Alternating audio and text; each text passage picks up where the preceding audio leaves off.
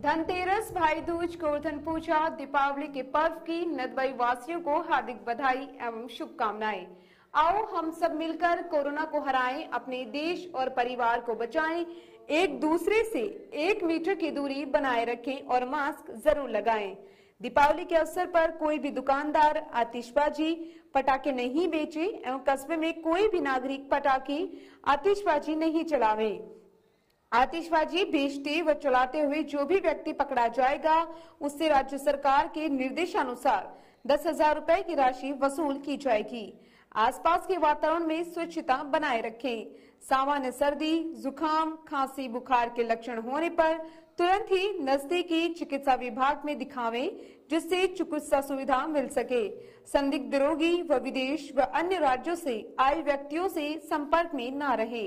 माननीय श्री जोगेंद्र सिंह अवाना विधायक महोदय नदबई मुख्यमंत्री राजस्थान अशोक गहलोत।